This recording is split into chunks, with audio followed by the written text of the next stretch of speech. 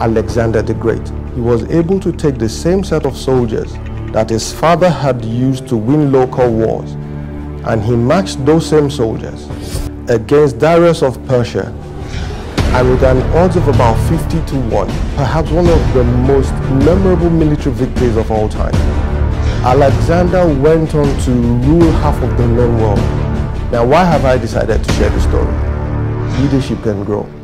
Every field of human endeavor is governed by principles. There is an opportunity for you to take in those same principles and skills and experiences that the likes of Alexander the Great have left behind when you attend the Niyi Adesanya Leadership Bootcamp 2.0.